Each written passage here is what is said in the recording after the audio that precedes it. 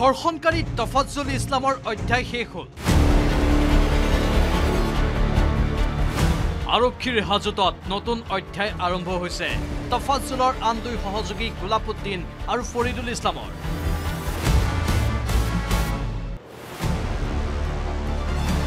ৰাজ্য কপোৱা ধিংকাণ্ডৰ এই দুই অভিযুক্ত অৱশেষত জালত পৰিল নগাঁও আৰক্ষী দলবদ্ধ ধৰ্ষণৰ পোন্ধৰ দিন পিছত শুকুৰবাৰে নগাঁও আৰক্ষী অধীক্ষকৰ কাৰ্যালয়ত ধৰা দিলেহি ছাত্ৰী ধৰ্ষণকাৰী গোলাপ হুছেইন আৰু ফৰিদুল ইছলামে। মৰিগাঁৱৰ লাহৰীঘাটত আত্মগোপন কৰি আছিল গোলাপউদ্দিনে ডিমাপুৰত লুকাই আছিল ফৰিদুল ইছলামে।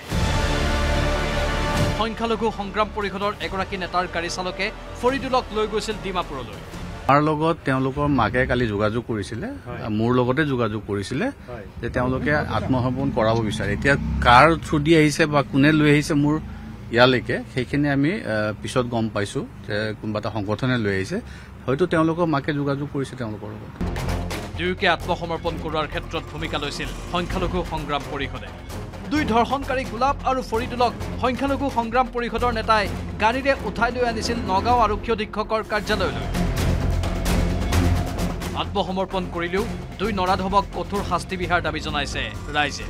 আমি পুলিচ প্ৰশাসনক অসম চৰকাৰক অনুৰোধ জনাম যোন দুজন ধৰ্ষণকাৰী উচিত শাস্তি প্ৰদান কৰক দৃষ্টান্তমূলক শাস্তি প্ৰদান কৰক যোনটো আচলতে শাস্তি আমাৰ সমাজৰ কাৰণে আমাৰ অসমখনৰ কাৰণে এটা উদাহৰণ হৈ ৰয় যোনবিলাক ধৰ্ষণৰ নিচিনা মনোবৃত্তি ৰখা মানুহে যাতে এনেকুৱা ধৰণৰ ধৰ্ষণৰ নিচিনা এটা নিকৃষ্ট কাম কৰিবলৈ কাৰণে যাতে সিহঁতৰ বুকু কপে সিহঁতে যাতে হাজাৰবাৰ চিন্তা কৰে। আত্মসমৰ্পণ কৰিছে বুলিয়েই যে তেওঁলোকৰ শাস্তি কম হ'ব তেনেধৰণৰ যাতে কোনো ধৰণৰ কাৰুকাৰ্য নঘটে। ইপিনে বৰভেটি গ্ৰেজিং ৰিজাৰ্ভৰ চৰকাৰী ভূমি দখল কৰি বাস কৰিছিল ঢিংকাণ্ডৰ তিনি অপৰাধীয়ে।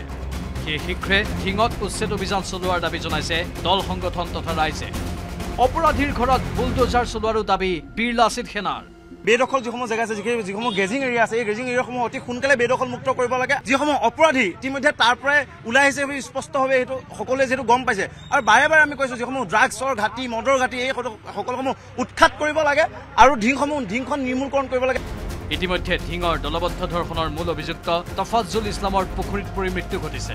শনিবাৰে দুই ধৰ্ষণকাৰী গোলাপ হুছেইন আৰু ফৰিদুল ইছলামক নগাঁও আদালতত হাজিৰ কৰাই তিনিদিনৰ জিম্মাত বিচাৰে আৰক্ষীয়ে।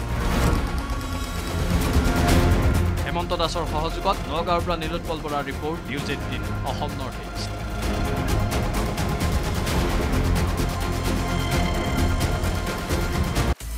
আপুনি বিচৰা বাতৰি পাব কেৱল নিউজ এইটিন এপত।